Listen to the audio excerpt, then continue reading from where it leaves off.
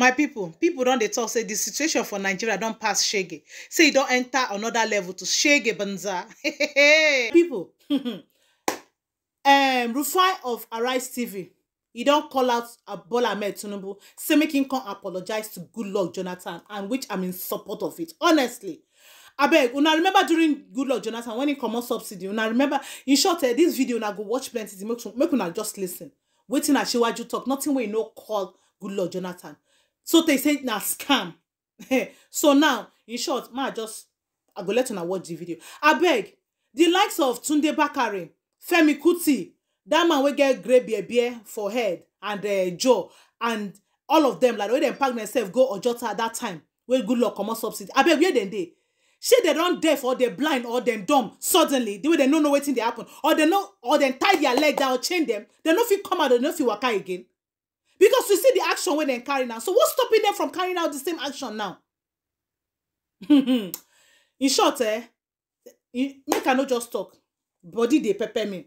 Guys una no forget to like and follow this um, video nhtvng my facebook page nhtv anger my youtube channel follow my facebook page subscribe to my youtube channel una no forget our live video later on for our um, airtime giveaway just to celebrate peter obi i go see una for the next video una me share drop your comments. effect of this across the um, country. What's your take on the story? Okay. My comment will be in three parts. At first, the first part will be history. In the 70s, a war happened called the Yom Kippur War. And because of that, crude oil prices did rise from 2 $3 per barrel to about 11 10 12 $13 per barrel. Nigeria decided to subsidize for its citizens then. Because prior to that time, we had a refinery out of Port Harcourt built by Shell D'Arcy, and production was a bit stretched for the people, so the government said, let's subsidize. This was even before the NNPC was to come a couple of years afterwards. In the 80s, it became a problem. In fact, I remember a This Week news uh, magazine episode that talked about the fact that the government was thinking of pulling out petrol subsidies. But it never happened. But the time went on, we returned to democracy, this problem persists until President Goodluck Jonathan tried pulling this out in 2012. On the 11th of January 2012, President Tinubu wrote an article, or maybe it was published, in the Nation newspaper, giving his take on the subsidy issue. He famously called it a scam while the protest you know, raged on, and he called it a Jonathan tax. Is it safe to say that this is President Tinubu's tax today? Anytime policy and politics mix, you breed catastrophe. Anytime politics and policies mix, you breed catastrophe. We also have pulled our subsidy in 2012. That was the best time. The economy was doing well. But because politics was mixed with a policy, then we bred catastrophe like we had in 2012. And for all those that went out to occupy Nigeria, we are here again.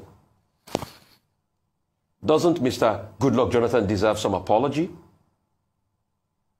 Secondly, what's the problem on ground? We knew this was going to happen. Once the marketers started to lift, then definitely we're going to have problems because one, our forex prices has gone up, international factors, oil price, we have pre-existing wars and all of that. Then the pass-through effect will be for the citizens. And please quote me. I repeat, quote me. There is nowhere in the world that the government does not make intervention in the petrol price, energy price for the people. Ronald Reagan deregulated the petrol economy in America in 1981. Till date, the American government still makes interventions. How do they do it? They say they are releasing their strategic national reserves. Quote me. In the UK recently, Rishi Sunak had to work on some taxes as regards petrol sales. Because energy is important for the people. The third part, I would say, and that's why we have the increase in price. And we saw this coming. We had always talked about, so I'm not surprised. The third part I will talk about this morning is solutions. So, what are the solutions? At some point down the line, the government will still have to make interventions as regards energy pricing. you cannot continue to pass on the capitalist costing to the citizens. You're going to have a knockout ricochet effect.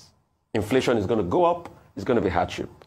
Solutions, multiple pronged approach. Number one, we have four working modular refineries. Incentivize those refineries. Ensure they get crude so they can produce locally. Ensure the Dangote refinery comes on board so they can augment. Let us move to local production big time. We can't keep using our forex to import. And also, if we can sell crude to these local refineries in Naira so that they can get crude so we can produce and serve our local market. Secondly, shore up the agricultural sector. There's a lot of instability. Farmers are being chased around now because of terrorists and all of that. Build silos to be able to store agricultural produce, to cut out the middlemen. Also, ensure that to a large extent, you fix the insecurity problems on the farm so we can have food. And please, President Tinubu, the other borders have not been opened. Please open those borders. Let food come in. Let food come in. Give farmers seeds, give them palliatives and all of that. He has done some of that. Also, as a point I'd like to make as regards logistics, to transport petrol is a big problem. Yeah. So please, all those other moribund narrow gauge lines, we can resuscitate them to transport petrol and agri produce. I hear there's no time, I'll yield the floor. The second thing again is the forex, uh, the forex regime. The naira, as you speak now, in the I and E window, is about eight hundred dollars to, uh, you know, to the dollar. Uh, yes, eight hundred naira to the dollar. If it reaches one thousand to the dollar, we are in trouble, serious trouble. So this is the reality of what we face in Nigeria at this moment, and that's why you know, uh, organized labor is saying that, look, you have to get the local refineries to work.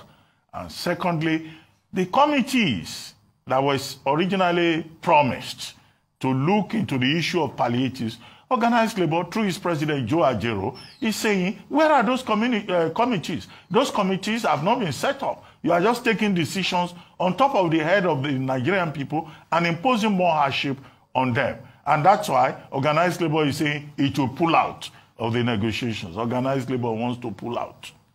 And I said, as to uh, the reference to 2012, I've seen uh, some people putting out a video there saying, where are all those people who gathered at Ojota in 2012, January, saying that the revolution had begun?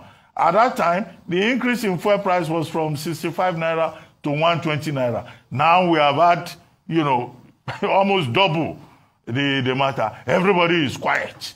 So hypocrisy seems to be a major part of the Nigerian character. I'm not inciting anybody, but it is uh, instructive that those people who call themselves the conscience of the people, we, we can't see them. No, no, nobody is coming forward to say anything. So hypocrisy, people thrive on hypocrisy in this country.